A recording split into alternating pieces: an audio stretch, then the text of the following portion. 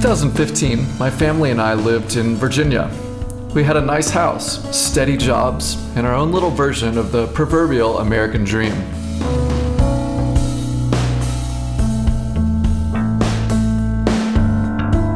We built several great memories there.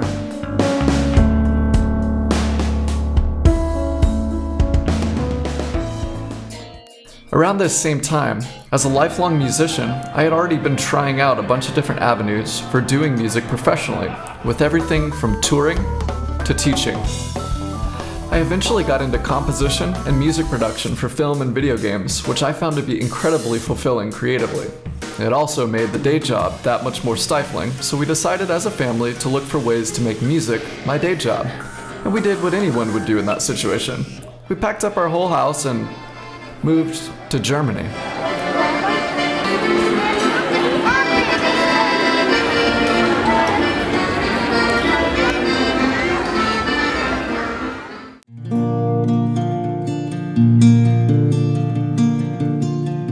Nestled in beautiful southwestern Germany, there's a small farming village that goes by the name of Obernheim-Kirchenarnbach.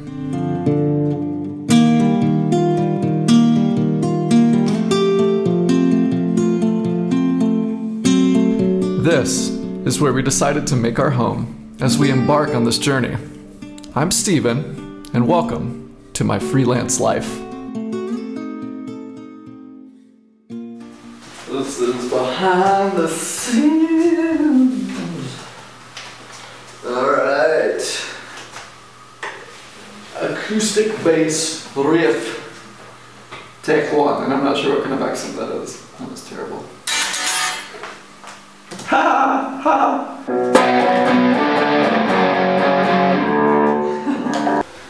Please tell me I'm doing a show of how to cook things. Mm-hmm. Cool. Yeah, try. I want to try. No, this is knives. So off, I should point out um, I am enjoying a delicious uh, Kolstreiser Keller beer, which you can see the label here. It's a wonderful German beer. Um, I don't know if you can see. Yeah, there you go. Good my view is the right one. Don't ask how I know. You just need to trust me, you the show.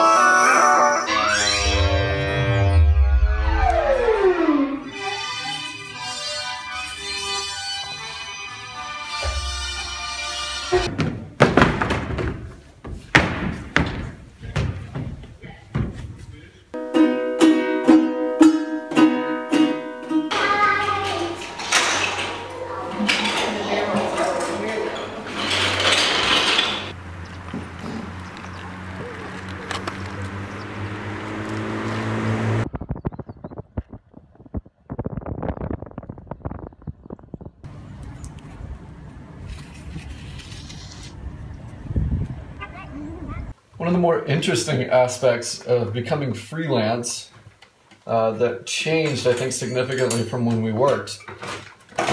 When my wife and I both had full time jobs, uh, they both paid well, but the uh, kids were in daycare all day from about 7 to 5.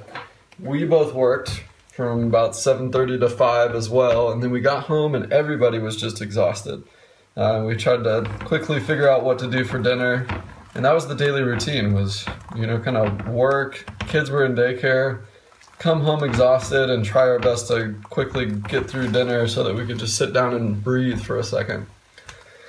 Now as a freelancer um, i've also become full-time stay-at-home dad. The kids do have school but german school systems only go until noon.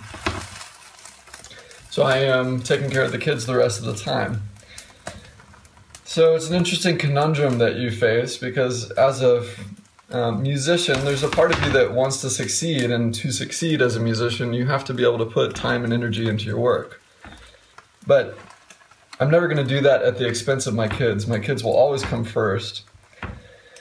And so there's this strange push and pull between uh, putting the time, energy, and effort into my kids, and then always feeling like, uh, also like I you know, to get ahead, I have to put some time into uh, working on music and building building my career. Because there's a part of you, no matter how much you know that you know family is more important. There's a part of you that I think also wants your family to see that you're successful in something that you love to do. I want to teach my kids that they can pursue whatever interest that they want and if they are smart about how they pursue it and pursue it with passion and energy and uh, knowledge about what they're getting into that they can do that and be successful. And success doesn't necessarily mean super high paying gig although that's certainly nice to have. I don't know. I haven't cracked that nut yet